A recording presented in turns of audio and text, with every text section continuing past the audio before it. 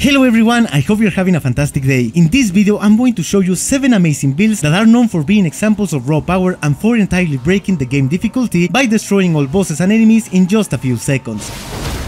Keep in mind that all the background gameplay of this video was recorded on New Game Plus 7, which is the max scaling of Elden Ring, so you can expect a lot of more damage from each build if you are in a lower New Game cycle. As 7th place on the list we have the Shura V2, an alternative version of my Shura build for those who wouldn't like to play with the Rivers of Blood. The main difference of this build with the original Shura is the stats distribution. As weird as it sounds, this one is a dexterity and faith build, while the original was mostly an arcane build. This way we can use a lot of fire incantations giving a complete different vibe to the build. Also the fire damage from the Blood Flame Blade will scale from Faith, not from Arcane as it was with the original build. As you can imagine, I always prioritize the close range combat performance, and even though the Nagakiba doesn't have a projectile part like the Rivers of Blood, the huge range of the Nagakiba can easily compensate that. Basically, both builds are pretty similar in terms of damage with a decent variation on playstyle, but I can tell you which one is the best. So give it a try and let me know in the comment section which Shura build is the best for you. We are going to be using the Keen Nagakiba on plus 25 with the double slash Ash of War and we need the Giant Seal to boost the power of our incantations and to cast main buffs. I'm going to be using the White Reed set with the Iron Kasa to keep the Eastern style of the build. The most powerful talismans we can choose are the Ritual Sword Talisman, the Shard of Alexander, the Rotten Winged Sword Insignia and the Lord of Blood's Exultation. Nevertheless, if you struggle to keep your HP bar full, the Fire Scorpion Charm and the Millicent's Prosthesis are amazing alternatives for this setup. In our Physic Flask, the Thorny Cracked Tear and the Flame Shrouding Cracked Tear will do the job incredibly good. And for some reason this build doesn't consume stamina, it devours stamina, so be sure to craft some pickled turtlenecks to boost your stamina regeneration speed. If you want, you can equip any weapon with seppuku and use it before any fight to have the benefits of the Lord of Blood's exultation as soon as the fight starts. But this step is completely optional since you will get that buff as soon as you apply bleed on your target. The stats we need for this one are Forion Vigor and Endurance and we need to level up Dexterity to 80 and Faith to 60. Golden Vow, Howl of Shabriri and Blood Flame Blade will be our main buffs, and with this build we can use all the Fire Giant incantation. Before going to the next spot we have a quick message from today's video sponsor. MMOEXP is the best web service where you can easily acquire as much runes and items as you wish for an amazing price. Use my code CarlosN to get a 5% discount on your purchases. Thanks MMOEXP for sponsoring today's video. Now we have a very underrated weapon that is an absolute monster. I wasn't aware about the Envoy's Longhorn until you guys told me about it. And being honest with you, my jaw dropped multiple times with the amount of damage we can deal if we use an optimal build with this weapon. Bubble Shower, the unique skill of the Envoy's Longhorn, will hit enemies multiple times dealing a lot of stance damage and melting bosses HP bars so easy. However, the reason why it is in the 6th place of this list is cause it will only show its true potential against large and slow enemies. It will be decent in most scenarios, but the main power of this weapon will be seen mainly against big enemies. Anyways, this bad boy is definitely broken despite of being a holy damage weapon and it is extremely fun to play as well. For this one we need the Envoy's Longhorn on plus 10 and any seal we have available to cast our main buffs. The Envoy Crown will boost the power of our skill and I will use the Cleanrot set to have enough poise. The best talismans for this build are the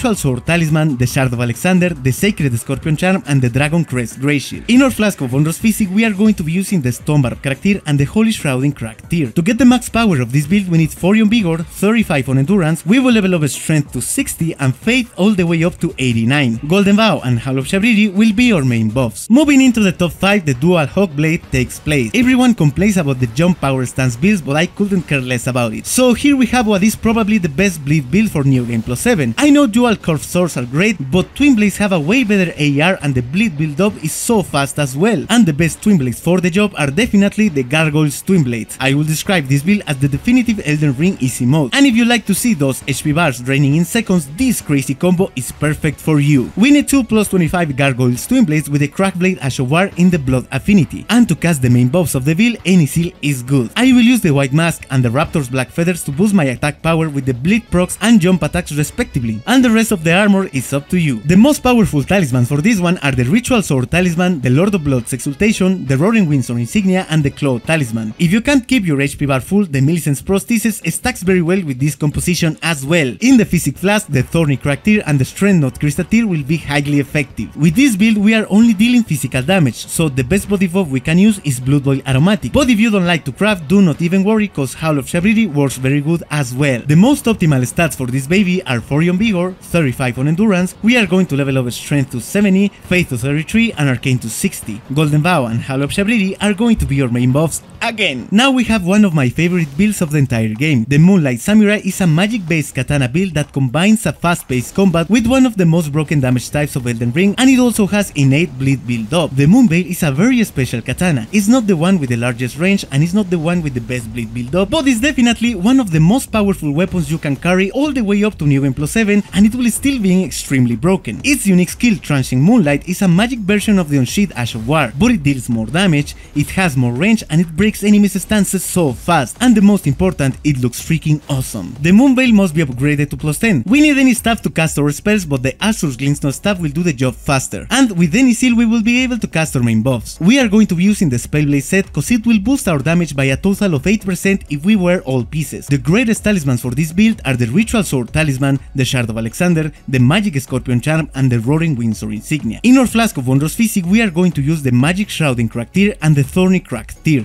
However, the Stonebarb Cracked Tear goes very well with this build too. For max damage and comfortable gameplay, we need to level up Vigor to 40 and Endurance to 35. We will take Dexterity up to 70, Intelligence to 60 and Faith to 33. Golden Vow and Howl of Shabriri are going to be our main buffs, and we will use Terra Magicus to boost our magic damage by a lot. We have reached the top 3 builds of this video and I'd like to thank you all for your recent support on all my videos. You are amazing guys. Anyways, I kindly ask you to not forget to drop a like and leave a comment on the video. This way YouTube will promote my work to more people and I will be able to keep creating content.